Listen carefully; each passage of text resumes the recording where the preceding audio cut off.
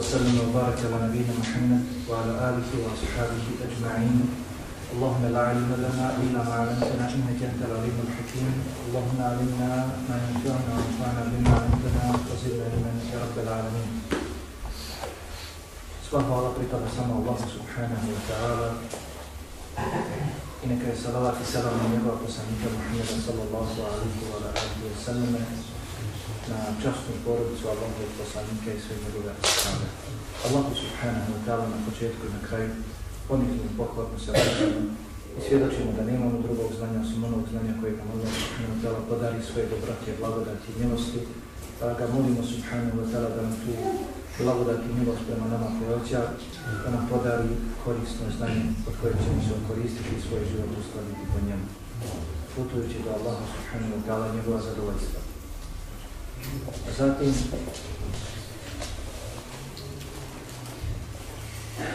sve jedan vjernik i sve jedna vjernica na ovom putu do Allaha subhanahu wa ta'ala i njegova zadovoljstva mora se okititi prijeko potrebnim osobinama. Mora voditi računa kako o svojoj spoljašnosti, isto tako i o svojoj unutrašnjosti. Mora kako izgradi svoju spoljašnjost po šarijatskim propisima, isto tako i graditi svoju unutrašnjost. Kako je rekao plemenitni ashab Salman al-Farisi radijallahu ta'ala, svaki čovjek ima svoju spoljašnjost i unutrašnjost. Pa onaj koji izgradi i popravi svoju unutrašnjost i Allah će popraviti njegovu spoljašnjost. Doći onaj koji unečisti svoju unutrašnjost, Allah će unečistiti i pokvariti njegovu spoljašnost. Posmatrajući kuranske ajete i hadise Allahov poslanika alihi salatu wasalam, pronaći ćemo da je za vjernika unutrašnjost mnogo, mnogo bitnija da poveda računa o svojoj unutrašnjosti, to je kod njega mnogo, mnogo bitnije. Svakako ne treba zapostaviti svoju spoljašnjost i dijela koja čini svojim udovima, ali isto tako treba povesti računa o svojoj unutrašnjosti, pa čak dakle više nego o svojoj spoljašnjosti.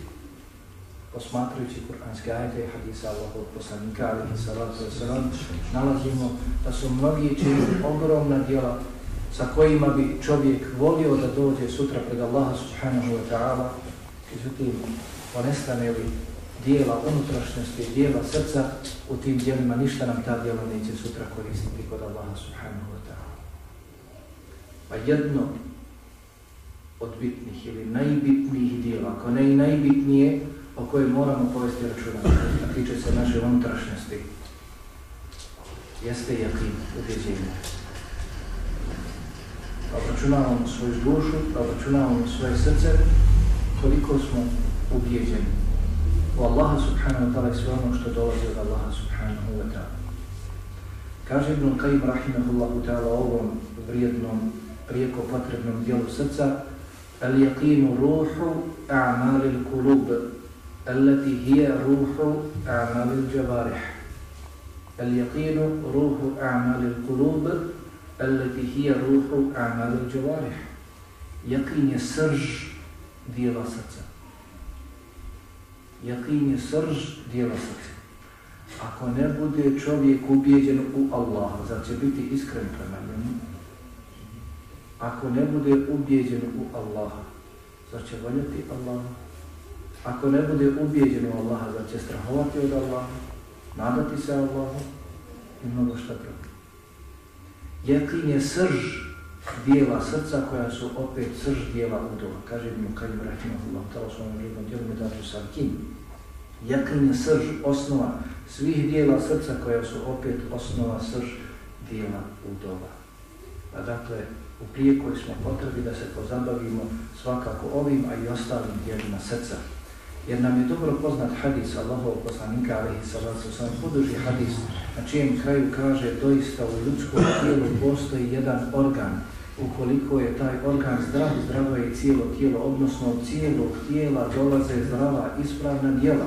I ukoliko je taj organ pokvaren, pokvareno će biti i cijelo tijelo, odnosno od cijelog tijela će dolaziti loša djela pa na kraju kaže ala vahi al qalbi, zar to nije srce? Zar to nije srce? Allah subhanahu wa ta'ala kaže da na ahiretu nam neće ništa vrijediti, dođemo li pred Allah subhanahu wa ta'ala sa nečistim, pokvarenim srcem, ništa. Kaže Allah subhanahu wa ta'ala, يَوْمَ لَا vala نَارٌ illa men et Allah اللَّهَ kalbin salim. Toga dana čovjeku neće vrijediti i metak, niti njegovo potomstvo, vrijedit će mu samo čisto srce s kojim dođe pred Allah subhanahu wa ta'ala i brojni drugi šarijski tekstovi koji govore o ovome, a dakle ponajviše naše srce se čisti, učvršćuje, pročišćava sa ovim osobinama prijeko potrebnim, a jedna od njih, kako kaže mu, kaj jeste jakin. Allah subhanahu wa ta'ala ovu osobinu jakin spominje na mnogo mjesta u Kur'an i Kerimu. Na oko dvadesetak mjesta spominje se objeđenje jakin na razne načine u Kur'an i Kerimu. Pa odmah na početku Allahove knjige, je li tako Allah subhanahu wa ta'ala spominje ovu osobinu, ubjeđenje, ubjeđenje vjernika. Pa kaže Allah subhanahu wa ta'ala, Bismillahirrahmanirrahim, alif lamim, dalika al-kitab, la rajba fi, hudan lil muttaqin, alladhina yu'minuna bil ghaibi wa yuqimuna as-salata wa mimma razaqnahum yunfiqun, walladhina yu'minuna bima unzila ilayka, wa ma unzila min qablik, wa bil akhirati hum yuqinun. Wa bil akhirati hum yuqinun ta uzvišena Aliflamim, ta uzvišena knjiga od početka do kraja, u nju nemamo baš nimalo sumnje, ono je upustvo samo bogobojaznima, onima koji budu vjerovali u gajb, u svijet, dakle, e, koji ne vidimo svojim očima, a o njemu smo obavješteni u Koranu, vjerodostanom sunnetu, koji budu obavljali namaze, i od onoga čime ih mi obskrbljujemo, odjeljivali na Allahovom putu, koji budu vjerovali ono što je objavljeno tebi o Muhammede, jer je to najpreće, jer je to dakle presudno, i oni koji budu vjerovali ono što je objavljeno prije tebe i koji budu u ahiretu ubijeđeni. Koji budu u ahiretu ubijeđeni. A složit ćemo se i je dobro poznan početak suri Al-Bekare, pogotovo dakle ovaj na početku suri Al-Bekare Allah subhanahu wa ta'ala govori o ljudima koji postoje na dunjavku, koji žive na dunjavku ovo prvih pet ili četiri ajeta spominje iskrene istinske vjernike, spominje njihove prijeko potrebne osobine. A kada Allah subhanahu wa ta'ala spominje nešto uz iman, onda se to mora naći kod vjernika. Pa ne može biti vjernik ne obavlja namaz. Ne može biti vjernik ne, ne, ne vjeruje u gajbu. Ne može biti vjernik ne vjeruje u poslanstvo Muhammeda alihi sallam. Ne može biti vjernik koji kod sebe nema uđenja.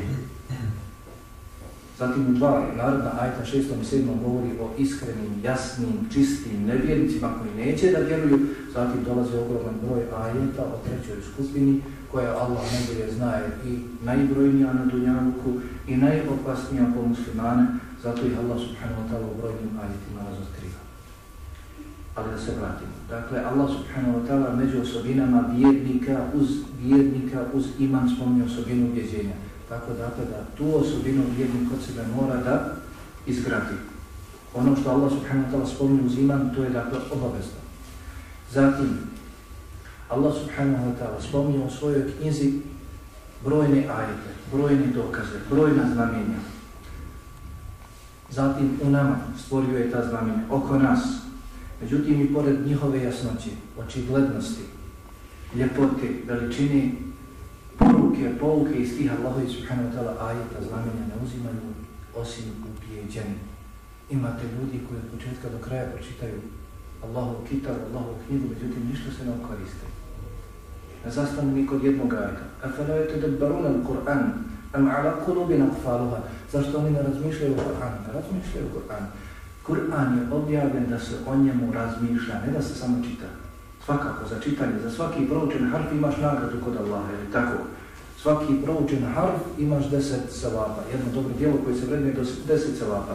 Međutim, nije to cilj objave Kur'ana. Cilj objave Kur'ana je čitanje s razmišljanjem. Da bi razmišljao, izvlačio pouke i poruke i radio po tome. To ostavi traga na tebe.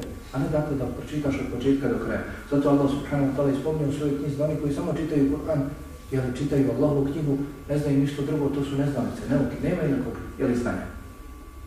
Pa dakle, poruke, pouke iz Allaha i subhanahu wa ta'ala ajeta ne uzimaju osim oni koji su ubijeđeni. Allah subhanahu wa ta'ala prejasno kaže u svojoj knjizi, kada spominje svoje znamenje, svoje znamenje, svoje ajete, dokaze, Hada besairu linnas. Ovo su jasni, očigledni dokaze linnas. Došlo je ennas, El u arabskom jeziku je za istebrak, za svobovatnost. Ovo su jasni, tako očigledni dokazi, spominje se čak da Sajer, Basiret jeste ono što čovjek jasno na te ne vidi svoj očima.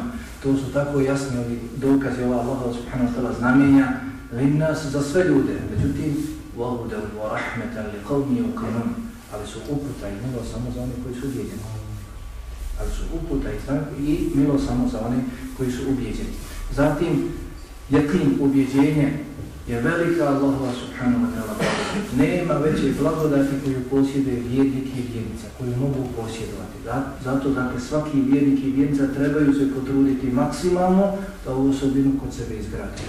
Vidješ imam Ahmed, Nesai, Ibn Mađe, Ibn Hibban, Bukhari, Vedbol Mufradu i mnogi drugi, od Eusata, Ibn Ismaila, Ibn Ausata, koji nam prenosi da je Ebu radi radijallahu ta'ala godinu dana nakon smrti Allahov poslanika, alihi salatu sam, ispeo se na Nimber.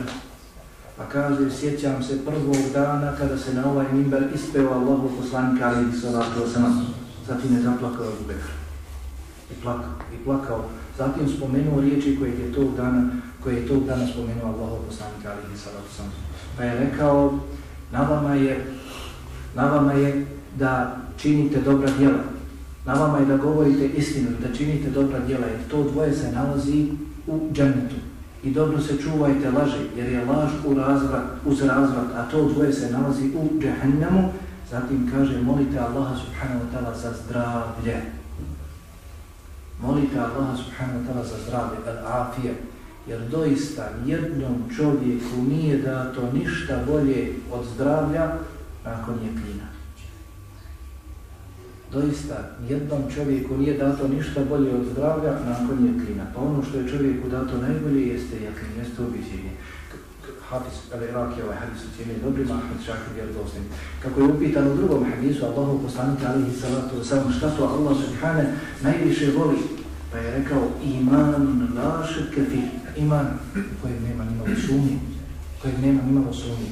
Zbog veličine ove blagodati, jaklina objeđenja, rijetko bi kada Allahov poslanik alihi salatu sam ustajao sa sjela, a da ne bi učio dovu u kojoj se spominje jaklin traž, jaklin objeđenja od Allaha subhanahu wa ta'ala sebe i svoje ashabe.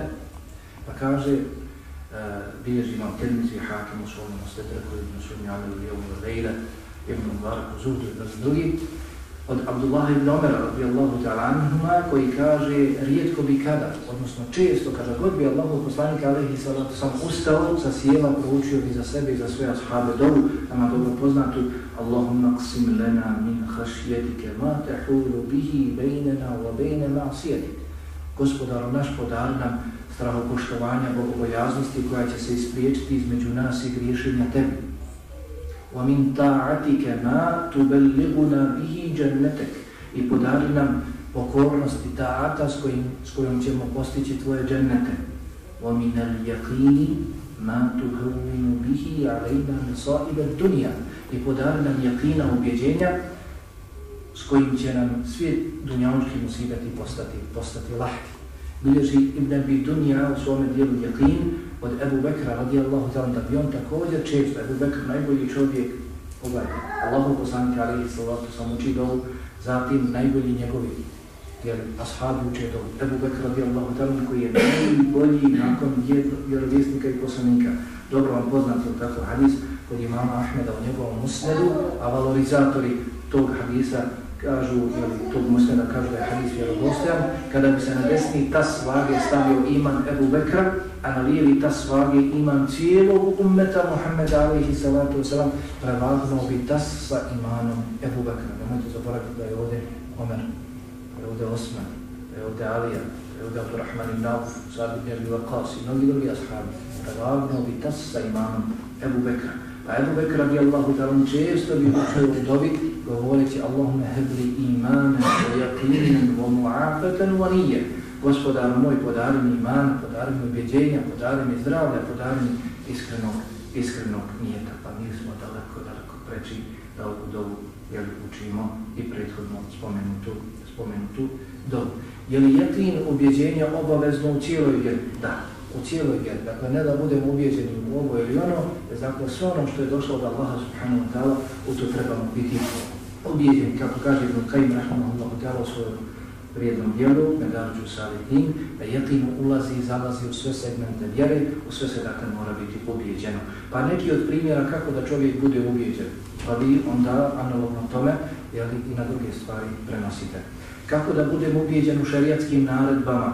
Allah mi je nešto naredio, što znači da sam ubijeđen u tu naredbu?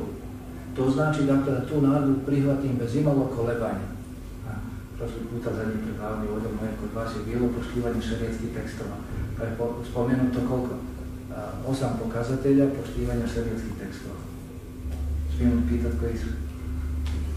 Uglavnom, onaj koji tvrdi da je ubijeđen u neku Allahu subhanahu wa ta'ala narodu, mora tu narodu prihvatiti bez imalo kolebanja, imalo dvomljenja. Allah rekao, rekao Allahu poslanika alihi salatu sam završeno je za njega ne pitati tamo nekoga drugog, ne istraživati koji će možda nešto dozvoliti ili slično, Allah subhanahu wa ta'ala je naredio, kažemo, to je završeno za nas.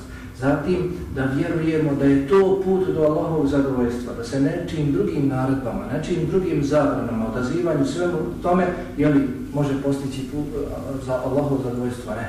Već dakle ono što je Allah objavio, s time se postiže Allahov zadovoljstvo. Allah dobro zna znači naše duše haju, Allah je objavio zbog toga knjigu, poslao nam zbog toga poslanika i onaj koji se bude držao, jer toga taj će biti na pravom putu i na dunjavku i na pravom putu sutra do dženeta i Allahov subhanahu wa ta'ala zadovoljstvo. Ko bude slijedio Allahov poslanika, ali i sada samo sobom, ovome, sa čime on došao. Zatim, treće, da se maksimalno potrudimo da tu naredbu sprovedemo, maksimalno da damo sve od svoje mogućnosti. Počesto kod nas se pogrešno razumijeva aj i slični njemu, la yukellifu Allahu nafsan illa wus'aha. A, malo zapne i kaže Allah nikoga ne preopterećuje preko njegovih mogućnosti. Naprotiv, ovaj ajet ti poručuje da datneš sve od sebe, a ne da se pravdaš od nama. La yukellifu Allahu nafsan illa wus'aha. Allah ne preopterećuje čovjeka preko njegovih mogućnosti jeste daj sve od sebe. Daj sve od sebe, kako ćeš znati svoje mogućnosti, odmah na početku, a, kreniš tim putem i staneš gotove. Pa je tako da sve od sebe, ovaj aj te poziva da maksimalno se potrudiš, pa onda vidiš dakle, ne možeš, to su tvoje mogućnosti, onda se prepustiš, osloneš iskreno na Allaha subhanahu wa ta'ala.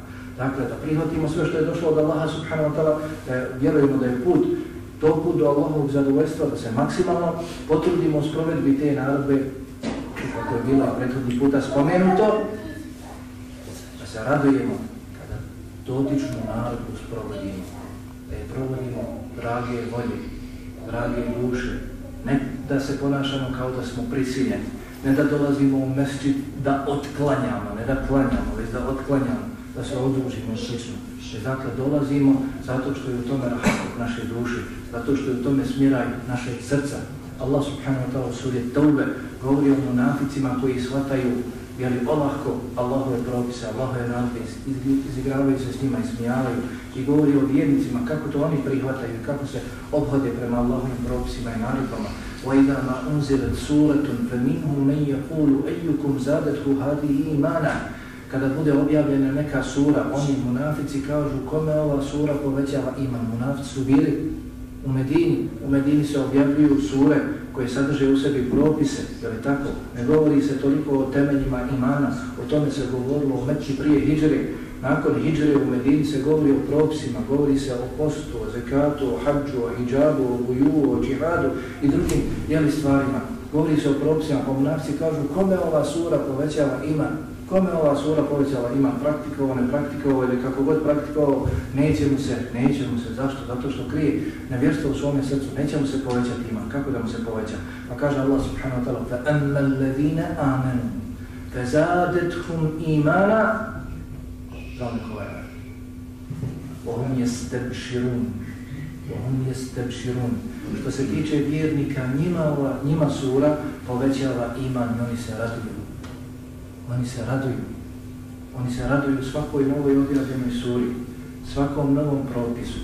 Tako se obhode vjernice prema Allahovi subhanahu wa ta'ala Dakle, da prihvatim, da vjerujem da je to bude Allahovog zadovoljstva, da se maksimalno potrudim u sprovođenju te Allahove narodbe i da to sprovodim, činim drage duše, drage moji.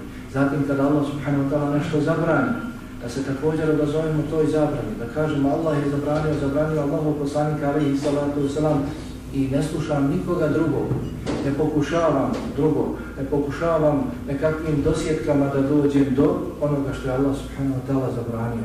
Ha, da se ne poisto vjećujemo sa subotarima koji su bacali u petak mrežu nedelju, nedjelju tako je govorili, ne, ne, mi ne, ne, ne lovimo subotom ribu, a riba dolazila samo subotom, a njima bio zabranjen, kao što znamo zabranjen nije da rade jeli subotom, pa bi bacali petkom mrežu, a nedjeljom vadili kaže ne, mi nismo lovili subotom.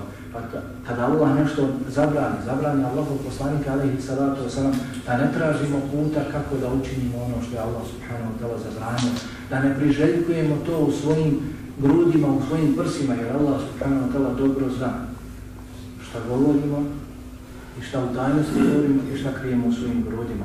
Kako kaže Hatim al-Asam, kada budeš činio neko djelo, obračunavaj svoju dušu i znaj da te Allah vidi. Kada budeš govorio neke riječi, obračunavaj svoju dušu i znaj da te Allah čuje. A kada ušutiš i kada staneš djelom, dobro znaj da Allah znaj tvoju unutrašnjost. Zna zbog čega se ušutio i slično.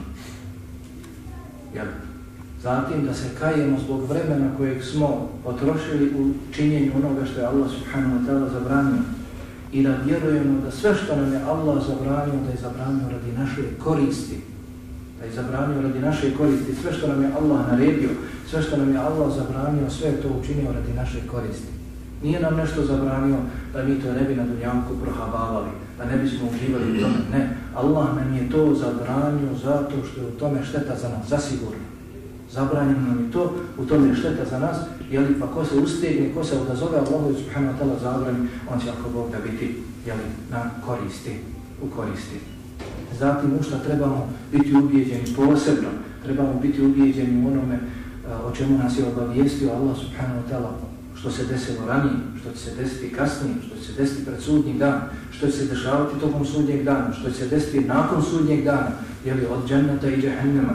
čovjek dakle mora da bude sve u sve to ubijeđen. I to je dakle nešto što ga zato Allah subhanahu ta'ala na početku ovog jeli, svoje lekare kod ovih osobina vjernika spominje gaj to je dakle ono što čovjeka pokreće. To je ono što čovjeka dakle tjera da radi dobra djela. Onaj koji vjeruje ubijeđeno. Onaj koji vjeruje koji je ubijeđen ono što je sklonjeno dakle od njegovih očiju što je dakle drugi nevidljivi svijet. Pa dakle vjernik čitajući kuranske ajete, hadise koji govore o tome, mora da sve to prihvati, da kaže, jes, Allah o tome govori, to što je u Allahove knjizi, to što je u vjerodostojnom sunetu, ja vjerujem u to. Zatim vjernik treba da to toliko iščitava, da to toliko proučava, da dođe na stepen kao da to gleda svojim očima.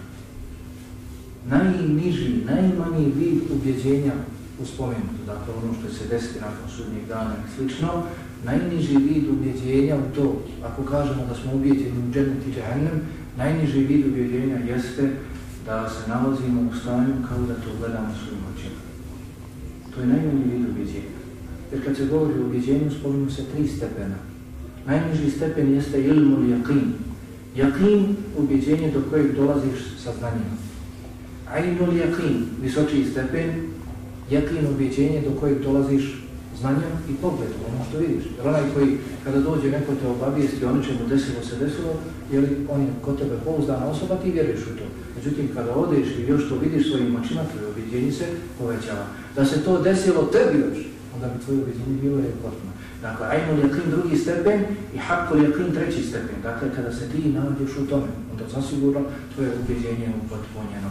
A najniži vid ubjeđenja jeste dakle ubjeđenje do kojeg dolazimo sa znanjem znanjem, sa informacijama koje posjeduju. Pa kada čitamo o džennetu i džahennemu, trebali bismo da budemo toliko ubijeđeni da, kao da ih gledamo svojim očima. I Allah subhanahu wa ta'ala u jednoj od kur'anskih sura ispominje ovo, jel? Spominje u jednom kur'anskoj suri na dva mjesta, ajet za ajetom ubjeđenja. Koje su? Takazur. Hm? Takazur.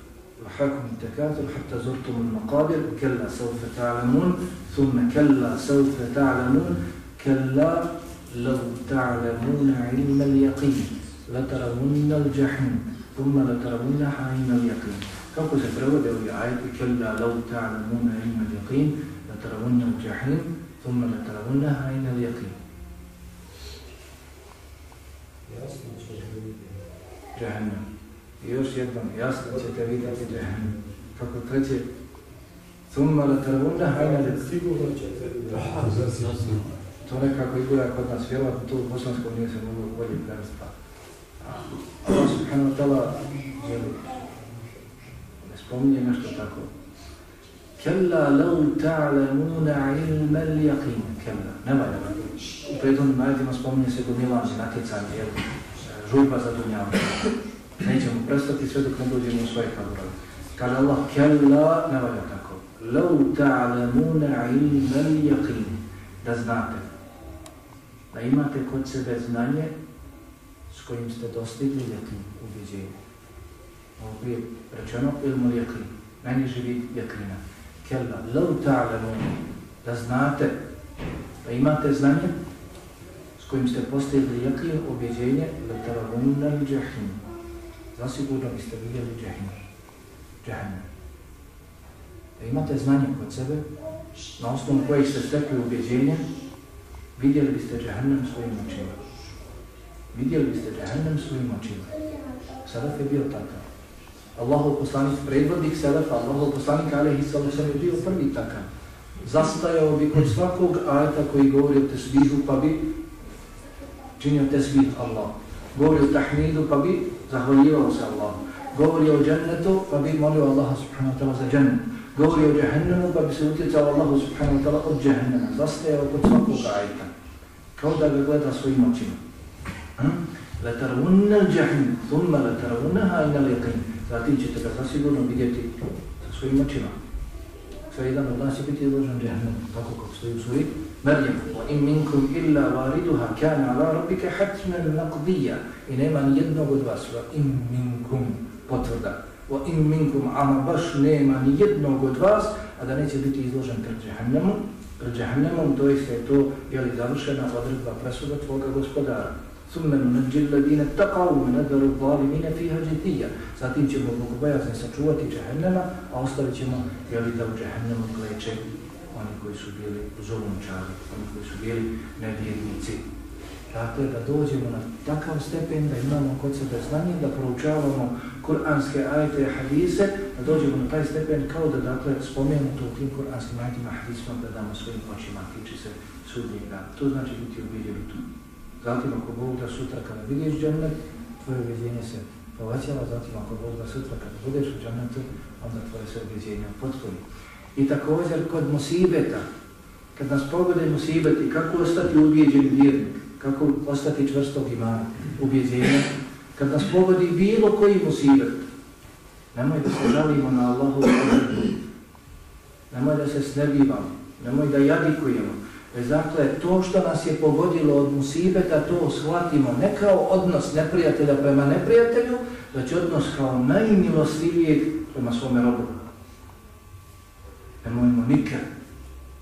I čini mi se da vrijedi da se taj hadis ispiše na, na, na zidu da se često vraćamo i posjećamo taj hadis. Da zaboravimo na hadis, parafrazirajući poduge jedne prilike kad je Allahom poslaniku alihi salatu sam dovedeno roblje i bilo postavljeno u safove, poredano u safove, muškarci, žene, djeca. Allahov poslanik alihi salatu sam došao sa svojim ashabima da se izrekne presuda šta će biti s njima i čekaju jedni i drugi. I Allahov poslanik alaihi salatu wasalam primijeti ženu kako izlazi iz jednog reda safa hoda, traži nekoga. Ne interesuje šta će biti s njom. Treba da se izrekne kazna, presuda, šta će biti, nju ne interesuje. Hoda, traži nekoga, ne osrće se na presudu. Traži nekoga, pronađe tamo u jednom redu safo svoje dijete. Ma. I ne stidi se nikoga. Uzme dijete u naručje i doji. Pred svima.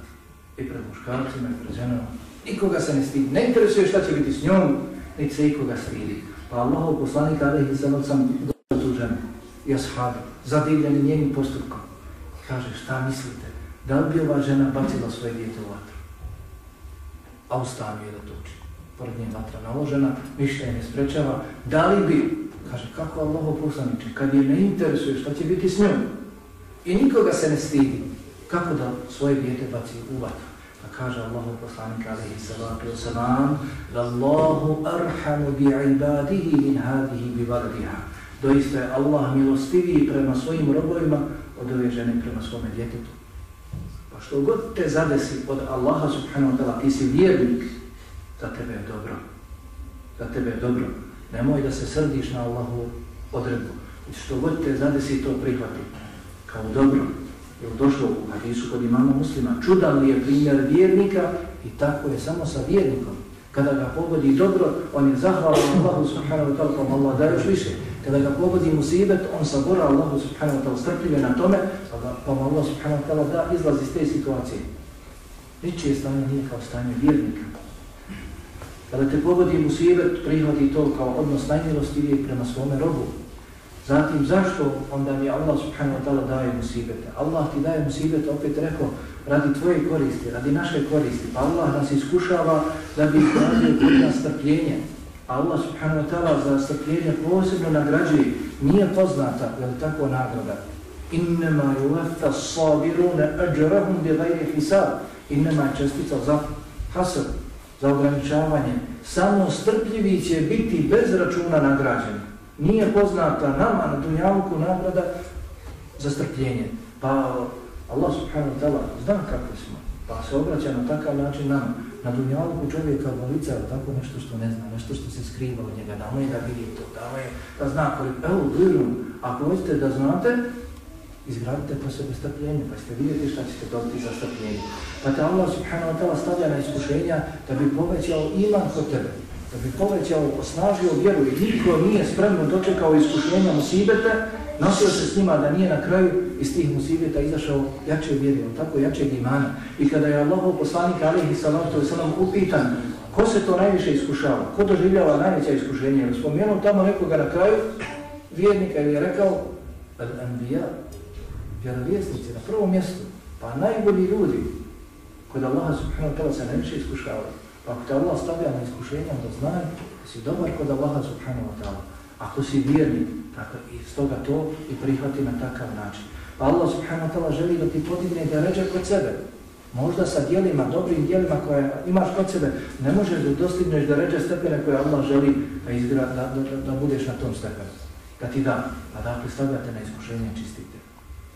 I dakle, što god nam se desi, makar to naš razum odbijao, nikako ne mogao pojmiti, desiti se od iskušenja, to shvati da je za tebe dobro. I sira, životopis Allahov poslanika, ali i salatu sam, njegove shava, prepuni su toga. U Kur'an i Kerimu se spominje samo jedno žensko ime, tako? Samo jedno ime se spominje. Tako? Se spominje još neka imena. Samo jedno ime žene se spominje. Merjem. Jel' tako?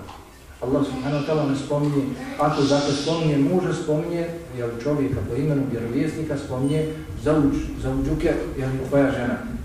I šarati nama, dakle, da čovjek, vjernik, muž treba dobro da bude ljubomoran na svoju porodicu. Da ne govori drugima o svojoj ženi, da ne spominje ženo ime pred drugima, ili njene osobine, ili da dozvoljava da je svako mjeri prati i ostalo. Allah subhanahu wa ta'ala nije nigdje u Kur'anu gdje se spominje muškarac spomenuo po imenu i ženu. Tako da koji vjerni treba da obrati pažnje. Spominje se Merljama, Merljama nije imala muža. A, nisam to htio. Spominju se muškarci, vjerovijesti poslanici, ali tako, brojni. Mimo vjerovjestika i poslanika spominje se jedan čovjek. Zaid ibn Harz. Ne spominje se nikog nije, tako, Zaid ibn Harz. A Zaid ibn Haris je bio ko? Zaid ibn Haris. Posinak Allahovog poslanika, ali Pa kad se spomenuo Kur'an? Nakon toga Allahov poslanika, ali sa sam se oženio. I tada je ukinuto posljednog dana. A Zaid ibn Haris je volio i kada bi ga neko upitao ko si, govorio bi Zaid ibn Muhammed. Zaid ibn Muhammed. Volio je da se pripisuje Allahom poslaniku alihi sallam. Zbog šarafa, časti, ugleda, položaja Allahog poslanika alihi sallam. Pa kada mu je uskraćeno ovo, Allah ga je spomenuo u Kur'an Kerimu koji će se učiti do kijameta, do sudnjega dana. Allah ti nikada neće nešto uskratiti i ti to spremno dočekati kao vjernika da ti Allah neće da ti nešto mnogo bolje. Pa je uskratio posinovljavanje za ibn Harisu, a da ono je mnogo bolje. Da se spominje u Allahovom govoru, da ga Allah spomine prije svega svojim imenom, poznato vam je da Ubej ibn Kab, kada je Allah subhanahu wa ta'ala naredio poslaniku da dođe kod Ubeja, da sjedne pred Ubejom i da proči sura Ubejine pred Ubejom, da je Ubej plakao. Kaže, zar ne moj gospodar spomenuo mene po imenu? Plakao bi. A Zajda ibn Harisa Allah subhanahu wa ta'ala spominje to pogotovo u svojoj knjizi koja će se učiti do sudnje predana. Zato što god nas pogodi od musibeta, znajmo da je to dobro za nas. I mnogi drugi jeli primjeri.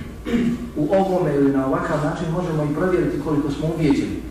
Pa kada, dakle, prekršimo neku Allahu subhanahu wa ta'ala narodu, učinimo nešto što je Allah subhanahu wa ta'ala zabranio, onaj koji je ubijeđen vjernik, koji je čvrstog imana, čvrstog ubijeđenja, on se odmah vraća Allahu subhanahu wa ta'ala. Nije mu potreba nikom. Kada ga šeitan dotakne, navede ga na grije, prisjeti se toga i vraća se Allahu subhanahu wa ta'ala. Dok onaj koji je slabi vjeri, slabog ubijeđenja, ili da hama nema nikako, mora se s njim družiti i družiti, jer govoriti, ne govoriti, spominjati primjere i selefu saliha, nekakva deljiva kazivanja, deljive priče da bi on ostavio grije. Haman ga moraš i ubijediti da je to grije. On to i ne prihvata da je grije. Pa dakle moraš mnogo šta s njim činiti, dok onaj koji je ubijeđen odmah se vraća Allahu subhanahu wa ta'ala. Pa također u iskušenjima, kada pogode nas iskušenja ne daće, hoćemo li prije tih iskušenja negaća imati lijep govor o strpljenju, a kada nas pogodi prvi mi gubiti strpljenje, ili ćemo biti od onih koji kažu, kada ih pogodi bilo koji musibet, kažu inna lillahi wa inna lillahi rađion. Zatim u stanju potrebe dobro možemo provjeriti svoje objeđenje. Kada smo potrebili nekog dunjavka, ne, neke dunjavke potrebe, nešto nam dakle, treba na dunjavku i znamo to se nalazi kod ovog ili onog brata. Hoćemo li svoje srce vezati za njega, samo da bismo došli do tog prezrenog dunjavuka ili ćemo dakle biti ubijeđeni na ono što je kod Allaha subhanahu wa ta'ala da nam je to dovoljno i dakle svezati svoje srce za Allaha subhanahu wa ta'ala ni za koga, ni za koga drugog, došli do tog dunjavuka ili ne došli do tog dunjavuka. Uh, eh, Ibn Taymiye, rahimahullah, ta'ala, šehr Islam Ibn Taymiye spominje kod govora o šefaatu ko nam može koristiti? Pa kaže, mogu ti koristiti četiri osobe, ne znam da sam to prošli puta spomenuo, mogu ti koristiti četiri osobe.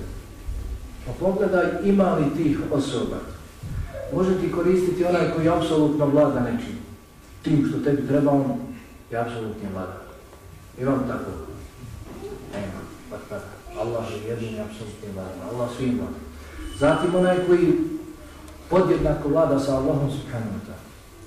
Nema i tako. Zatim onaj koji služi Allaha subhanahu wa ta'ala.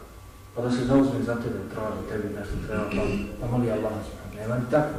Sva trojica na dunjavku otpadaju na dunjavku, samo ti Allah može biti odkoristiti. Sutra na ahiretu da vidimo da dođe neko i da se zauzima za tebe. Kaže, gospodaru, ja se zauzimam za Muhammeda, Ahmeda, Osmana, i slično, da ga uvedeš u džene spasi džehennemske vatre, to neće moći učiniti ni najbolji insan, najbolje stvorenje Muhammed alihi salatu wasalam. Prije nego li mu Allah dozvoli. Niko neće moći doći, fela tesma illa hamsa. Nećeš taj dan čuti osim šapor, jel? Tiho govori. Nema, niko da digne glas, da digne glas. Na, prije toga, prije nego se pojavi Allah subhanahu wa ta'ala dođu veliki, mnogi će kukati, jadikoti, ja ilena, men da'atena, ima kadina hada, teško li se nama, ko nas proživi iz ovih kaburova, govorci. ali kada dođe Allah subhanahu wa ta'ala, kada se spusti, kada dođe meleki u safovima, poredani budu, nećeš čuti osim, jel tiho sa šaptavanje. Pa će Allah, Allahu poslanika alihi sallam doći, pasti na srdu Allahu subhanahu wa ta'ala i dobiti, i dobiti, i dobiti, sve dok Allah ne kaže, ja Muhammed irfa' o osel tu'ta, ošfatu šefa. O Muhammed, podigni svoju glavu, traži da će ti se što budeš tražio i zauzimaj, tvoje zauzimanje bit će prihvaćeno. Nakon što svi vjerovjesnici i poslanici odbili budu govorili, je li tako, nefsi, nefsi, nefsi, nefsi, samo da se ja spasim. Moja duša, moja duša, samo da se ja spasim. A pogledajte, Muhammed alihi Salam sam kaže, nefsi, nefsi, ha? kaže, ummeti, ummeti, ummeti, ummeti, moj narod, moj narod. Prve riječi koje će izgovoriti. Moj narod, moj narod. Pogledajmo kako se mi, njegov umet, opodimo prema njemu, prema njegovom sunnetu. Muhammed i sallam. Je li tako? niko nam ne može koristiti, ni na dunjavku, ni na ahiretu, osim Allaha subhanahu wa ta'ala. Zato kada budemo u potrebi svoje srce vežemo za Allaha subhanahu wa ta'ala, oslanjamo se samo na njega u knjigama Al-Qaida da samo postoji jedan telekut jedan ispravan tevakul. Oslavac se Allaha subhanahu wa ta'ala. Sve drugo je, sve drugo je ništa, je li tako? Zato dakle možemo ispitati svoje ubjeđenje, je li i ovdje. Također u blagostanju, mnogi počesto kada budu u siromaštvu, žive u siromaštvu, nakon toga Allah im ukaže, je li, e, ukaže im dunjalu, ukaže svoje blagodati, e, prospe na njih, oni zaborave na Allaha subhanahu wa ta'ala. Dok vijedi bio u blagostanju, bio u siromaštvu, on je zadovoljen Allaha subhanahu wa ta'ala odredbom. Još nisam spomenuo šta je jekin i kako je iz čega se sastoji jekin, to će na kraju. Putevi i načini postizanja jakina, kako dakle da se postigne, kako da se postigne jekin. Prije svega, čuli smo dove Allahov poslanika alihi salatu sallam i njegovi ashaba, Pa što god nam treba, pogotovo na ovo nam je potrebno, jer je to najvažnije djelo u našoj unutrašnjosti, od toga zavise sva ostala djela djeli koja činimo. E, što god nam treba, to tražimo da Allaha subhanahu wa ta'ala Što god nam treba da ostvarimo kod sebe ili da od sebe odagnamo, to je loše, obraćamo se Allahu subhanahu wa ta'la sa dobom. Zatim, neophodno je da bi čovjek imao ubjeđenje, da bi imao jakin, mora imati znanje, šarijetsko znanje. Dakle, kažu islamski učenjaci jakin, da spomenem sad, jakin se sastoji iz dva dijela. Ne može čovjek biti ubijeđen bez ovoga tvoga. Ne može reći ubijeđen sam u to i to, a da nema kod sebe ovoga tvoga.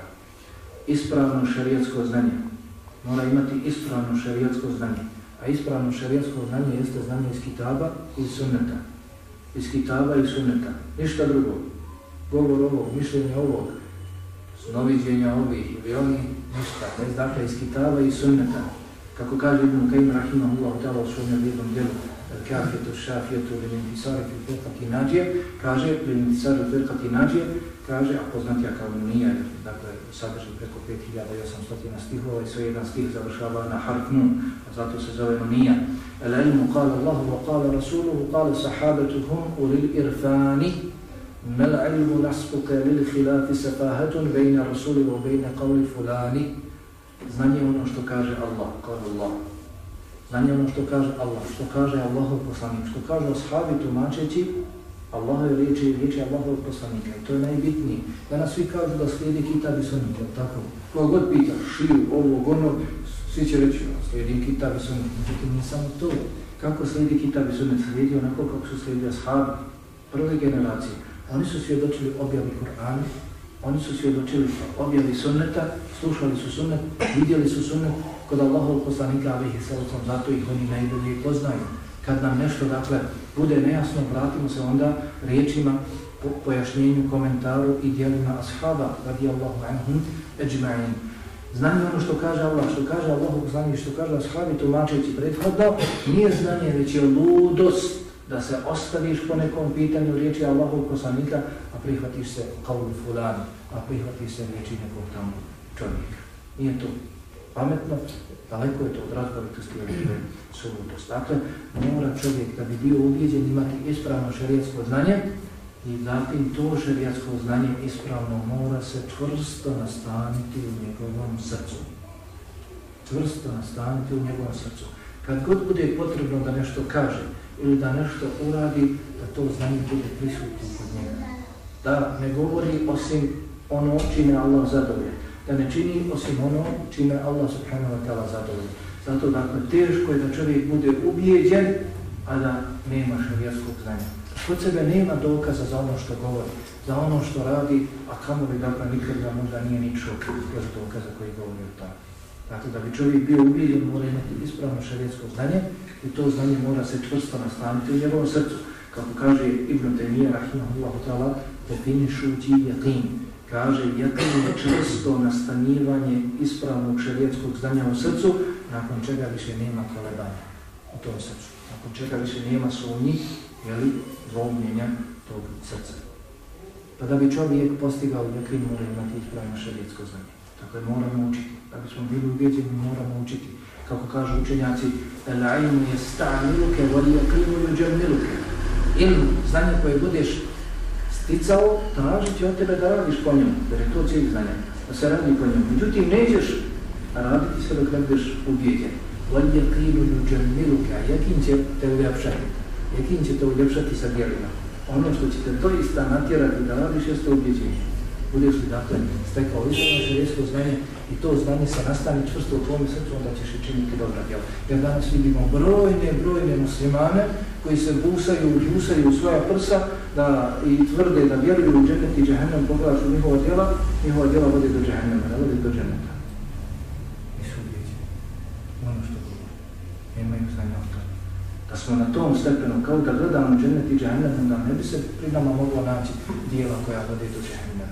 Ili nedjela koja odbijaju, odbijaju jel, džene. Dakle, znanje. Zatim, od stvari koje izgrađuju jeklin kod nas doprinose našem ubjeđenju jeste odbacivanje smutnje, nejasnoća, vesvesa, svakakvih razmišljanja koja slabe ubjeđenje. Pa vjernik neće čitati svašta, da tako složćemo se, svašta ne jede, svašta ne pijemo. Isto tako ne smijemo svašta slušati, ne smijemo svašta gledati, ne smijemo svašta čitati. Pa dakle, čovjek, vjernik, ako hoće da bude ubiđen, ne smije svašta čitati. Ne smije se odazivati onima koji pri sebi imaju šubhi i nejasnoće. Ne smije se družiti sa onima koji hvale mu vjeru. Vjernik i vjernica sastaju se, druže sa onom dakle gdje je hajr za njih, gdje će izaći nakon tog skupa bolji. A ne dakle da odlazimo na skupove gdje će nam uljepšavati nekakve naše hijabe, pa dakle od nikaba napraviti hijabe, pa od hijaba napraviti nekakve šamije, šareno, pa može malo šminka, pa može trepavica, pa može usne, to može svakako, ali kući za tvoga muža, ni za koga drugog. Ni za koga drugog. A vjernik i vjernica ne smiju se družiti i odlaziti na sjela gdje će njihov iman biti slabiji. Sve slabiji i slabiji. Da se dakle trebamo družiti tamo gdje se govori o Allahove vjeri, gdje se čita Allahova knjiga, gdje se postičemo, gdje se postičemo na dobro. Moramo se pozivati dobro, jer tako Allah subhanahu wa ta'ala čitajmo Allahovu knjigu. Nemamo kada govorimo o svom tome. Čitajmo Allahovu knjigu, Allah subhanahu wa ta'ala pozivanje na dobro odvraćanje od zla spominje prije imana, spominje prije namaza, spominje prije zekata. Hm. A zato moramo zabrnjivati loša djela, moramo podsjecati na dobra djela. Tako, kuntum hajra ummeti uhriđat li nas tekmurune bil marufi wa tenhamna ni munkar wa tu'minune billah. Vi ste najbolji narod koji se ikada pojavio. Tražite da se čine dobra djela, a da se ostavljaju loša djela i vjerujete u Allah. Ima nakon pozivanje mi dobro spomenuti. والمؤمنون والمؤمنات بعضهم أولياء بعض يأمرون بالمعروف وينهون عن المنكر ويقيمون الصلاة ويؤتون الزكاة. Vjernici i vjernice su prijatelji, zaštitnici jedni drugima. Traže da se čine dobra djela, da se ostave loša djela. Obavljaju namaz i izdvajaju zekat do kraja ajeta, pokorni su Allah poslaniku ili dalje. Dakle, trebamo popravljati svoje stanje. I ne smijemo nikada onaj koji nas upozorava da se okrenemo od njega, da ne godujemo, zato što nas je posavjetio. Danas često možemo čuti kad te neko posavjetuje, ovaj drugi odmah kaže, e ti mene ne voliš, e ti mene mrziš, e ti imaš nešto protiv mene. Želi ti čovjek, hajr, Selefu Salih je govorio, bolji ti je brat onaj koji kad god te sretne posavjetujete po pitanju tebe, po pitanju tvoga hireta, bolji ti on od onoga koji kad god ti sretne dadne ti šaku dinara i dirhema. Jer ovaj ti popravlja dunjalku, onaj ti popravlja hiret. Sada, kada bi se susretao jedni s drugima, kada bi se susretali, govorili bi, brate moj, doista ja ne vidim sve svoje mahane pri sebi. Ne vidim, ne vidim sve svoje grijehe. Pa ti ako primitiš kod mene neku mahanu, pozori me na nju. I takvi trebamo biti i mi. Neće se popraviti, kako je rekao ima Malik, zaošća ovog umeta osim onako kako se popravila prethodnica. Kako se oni popravili, prve generacije, jer svaki ajet, svaki hadis, svaki savjet, to je bio upućen njima i oni su to prihvatali. Evo, na početku sure Al-Bekare, tako odmah u šestom i sedmom ajetu, imamo opasnu poruku u tom ajetu. Inna ladine kafaru seva'un alihim, a anzortahum aman tundirhum, lehum. Oni koji neće da vjeruju, svejedno im je da li ti njih opomnja ili ne opomnja, oni neće vjerovati. Kod nevjernika je svejedno da li bili posavjetovani ili ne bili posavjetovani. Oni se ne mijenjaju. Takvi ne smijemo biti mi. Kad nas neko posavjetuje, ne smijemo svejedno okrenuti se i kao da nas niko nije posavjetio, niko nam nije uputio reći, niko nas nije pozvao dobro. Zato dakle vjednik i vjednica ne smiju izlagati svoja srca sumnjama koje tako lahko ulaze, ali i takako teško izlaze iz naših srca. Od stvari koje doprinose jakinu jeste i čvrsta odluka, da bi čovjek bio ubijeđen, kada nešto sazna, kada čuje iz Allahove knjige i sunneta Allahov poslanika, ali se samo to prihvati i čvrsto odluči da će biti takav. Onaj koji bude sjedio i razmišljao šta će biti s njim, ako prihvati, ako odbije, ako se prihvati čvrsto vjere, hoće li imati novo društvo, šta će biti s njegovim starim društvom, kako će njegova rodbina prihvatiti, kako će njegova sredina, okolina, okruženje ga prihvatiti, šta će reći roditelji, mogu li ja istrajati na ovom putu, onaj koji bude udjeljivao pare na Allahom subhanahu wa ta'la putu svoj imetak, novac, šta će biti, hoće li Allah to vratiti, neće vratiti, a, hoće li bankrotirati, ko bude sa sobom tako, sve na olovku, nikad ništa ne učin Nikad ništa. Zato vjerni kada čuje, odaziva se tamo, čvrsto odlučuje. kako je rekao Selefu Salih davno, briga o dobrim dijelima, briga o tvome stanju. Ako se brine za svoje stanje, postiče takva briga, postiče čovjeka na čvrstu odluku gotovo, bio sam do sada ovakav, više neću, čvrsto odlučujem, podlačim deset crta, čvrsto odlučujem. Briga sa činjenjem dobrih dijela postiče na čvrstu odluku, a čvrsta odluka doprinosi jetinu, a jetin doprinosi bogatstvu dijela. Jel jetinu i uđernulik, jetin će to uljepšati, uljepšati sa jel, dobrim, dobrim dijelima. Ubu dakle onoga, tako je naša stanje. Bilo predavanje, udjeljivanju na Allahom putu, I njega je to provodilo i kaže, cijela ukola kaže, dođem kući, sve ću podijeliti. I kako vozim kola, približava se kući, kaže, pola da podijelim, dobro. Pa došao pred kuću, kaže, pa to i trećinu da dadnem, i pa to dobro. Kad je došao kući, žena šerpe, prosjet, posjet, komplet i ostalo, zadržava se samo na njetu. Ništa nije, ništa nije udjelio od stvari koje doprinose jakinu jeste i ponjenje strasti, zabranjenih strasti, udjela duše, kako kaže Ibn Kajim Rahimahullahu ta'ala, onoliko koliko se vjernici budu suprostavljali svome nefsu, toliko će i postići, toliko će i postići jakina. I, dakle, plodovi koristi jakina, ukoliko posegnemo za ovim putevima, za šarijevskim znanjem, za klonjenjem od sumnjivih stvari, nejasnoća, šubuhata, šehrvata, budemo čvrsti, jel donosili čvrste odluke, ako Bog da, onaj ko se bude tako ponašao, koji dostigne ubjeđenje, čvrst ima, bude kod sebe imao jetin, živit će smirenim životom. Znaće samo za svoga gospodara. Ko spozna svoga gospodara, okreće se od svih drugih. Ko zavoli svoga gospodara, ostavlja sve druge. Je li tako? I on će živjeti u rahatluku samo će se usmjeravati svojom gospodaru, tražiti samo njegovo zadovoljstvo, pa makar na tom putu se drugi rasrdjeli, strahovat će samo od svoga gospodara, nadati se samo od svome gospodaru. Što god dođe od njegovog gospodara, on će biti zadovoljen svojom, neće se srditi. Jel? Pa doista, kako kaže e, šehol Islam Ibn Taymiye, rahimahullahu ta'ala, živjet će dunjavučkim džennetom živit će u džennetu na dunjavku, još na dunjavku, kako je rekao šeht Islamin da nije, doista na dunjavku postoji džennet, ko ne uđe u njega, neće uđi u džennet na ahiretu. A džennet na dunjavku jeste spoznanja svoga gospodara, Allaha subhanahu wa ta'ala, postizanje iskrene ljubavi prema svome gospodaru, iskreno obožavanje samo njega jednog jedinog i slično. Pa znamo dobro da je također govorio šeho Islamin ibn Taymiyyah rahimahullah ta'ala šta mi mogu moji neprijeti moj džennet je mojim prsima. On je samo gdje god ide. Pa ako me protjeraju, to je za mene turizam. Ako me protjeraju iz jedne ćelije u drugu, to je za mene turizam. A ako me strpaju u samnicu, u tome je za mene osamljivanje s mojim gospodarom. A ako me ubiju, to je za mene šehadž. Pa je također rekao za onu tamnicu u kojoj je preselio. Rekao je kada bi ovu tamnicu ispunio zlatom, i dao je onima koji su me strpali u nju, ne bi mu se mogao nikad zahvaliti. Kada bi je ispunio zlatom i dao onima koji su me strpali u nju, ne bi mu se mogao nikada zahvaliti.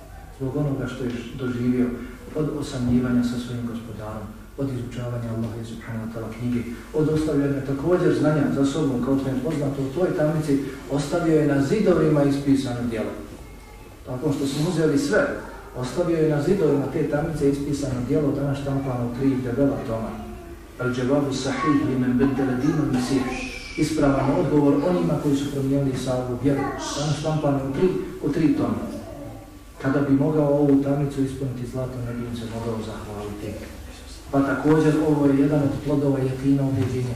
Pa čovjek što god ga pogodi od musibeta, da to ne vidi druga, osim, da to ne vidi drugačije osim kao blagodat od Allaha Onaj koji bude ubijeđen da sve što dolazi od Allaha subhanahu wa ta'ala da je to dobro za njega, što god ga povodi od musibeta, to će za njega biti blagodat. Ti musibeti će za njega postati jel, blagodati.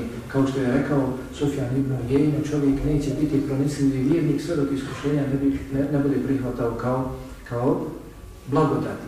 Zatim onaj koji bude ubijeđen, dostigne stepen ubijeđenja na dunjalku, kao što stoji jeli, u petom ajtu sura Dakar, na dunjalku će mu pripasti uputa i uspjeh. će i na dunjavku i na Hiretu, i na dunjavku u lajke vada hudem ne robihim, u lajke humor muflihun.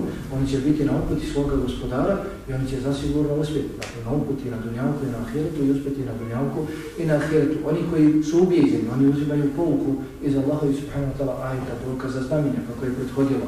Pa jekin također doprinosi strpljenju. Onaj koji bude ubijeđen, on će dakle biti strpljen. Fasbir inna wa'da Allahi haq, wa la jestahifenna kevladine la yuqinun. Strpi se, doista Allaho obećanje je istina. Nemoj da te pokolebaju oni koji nisu ubijeđeni. Oni koji nisu ubijeđeni, oni se kolebaju, oni se bolni. Dakle, oni koji su ubijeđeni, oni su, oni su strpljeni. Jakim doprinosi zadovoljstvu, kaže Allah subhanahu wa ta'ala suri Tavabun, ma asade min musibetin illa bi idnillah, wa yu'min billahi jehdi kalbe. I doista ne, čovjeka ne pogodi nijedan musibet, da on nije od Allaha subhanahu wa ta'ala, ako bude vjerovao u Allaha subhanahu wa ta'ala, ko prihvati dakle taj musibet, Allah subhanahu wa ta'ala će uputiti njegovo srce. Pa kaže Ibn Mas'ud, riječ je o vjerniku koji pogodi neka nedaća, on zna da je to od Allaha, bude zadovoljan i preda se tome, a Ibn Qaim se nadovezuje pa kaže zato srce ne može biti upućeno, ne može biti zadovoljno, ne može biti predano, osim za jekinom ubiđenjem. Ne može biti zadovoljno, ne može biti predan svome gospodaru, osim sa ubiđenjem. Zato je to tako, kako potrebno i brojne druge blagodati, brojne druge blagodati koje nalazimo kroz šerijetske tekstove, postojanost pred neprijateljima, vojstvo vjer, vojstvo vjer se ne može postići diplomom, niti mnoštvom, niti preko noći, vojstvo vjer se postiže sa jakinom, sa objedinjem, sa strpljenjem, kako Allah subhanahu wa ta'ala spomenu u svoj وَجَعَلْنَا مِنْهُمْ أَئِمَّةً يَهْدُونَ بِأَمْرِنَا لَمَّا صَبَرُوا وَكَانُوا بِآيَاتِنَا يُقِنُونَ Mi smo njih birali imame, vođe, činili vođe koji su pokoravali našim naredbama nakon što su bili strpljivi i o naše ajde, o naše ajde ubijeđeni. Dijelo koje bude učinjeno iz ubjeđenja daleko, daleko se više vrednuje kod Allaha subhanahu, subhanahu wa ta'ala. I ono dakle što slabi naše ubjeđenje jeste, kako sam malo prije spomenuo, vezivanje srca za nekoga drugog. Vezivanje srca za nekoga drugog to slabi ubiđenje, to slabi iman, tako u potpunosti. Tako može čovjeka izvesti iz imana, da čovjek veže svoje srce za nekoga, za nekoga drugog. Kažu Selefu Sali, onaj koji veže svoje srce za nekoga drugog, taj neće osjetiti miris ubiđenja, kamo da bude ubiđen. Neće osjetiti rajhat ili jekin, a kamo da dakle da bude ubiđen, da ima pri sebi jakina. I zasigurno, dakle, odazivanje šumama, smutnjama, sumnjama, takva osoba nikada neće biti ubiđena onaj koji hoće da zaviri malo ovdje, malo ovdje, da vidim šta ovi kažu, da vidim šta oni kažu, kako je ovaj govorio ovom, kako je ovaj izvratio njemu, taka, takva osoba nikada neće naučiti nešto iz vjere i u to da će biti ubijeđena. Zato je, je Sadat naš preporučivao da čovjek koji traži šarijetsko znanje, koji hoće da ide ovim državama, stepenicama, da sjedi pred učenim samom dvadesetak godina, da uči kod njega, pa onda kada postigne temelje u sule, onda ide dalje, a dograđuje svoje znanje dok mi malo ovdje, malo ovdje i na kraju nešto ne postignemo.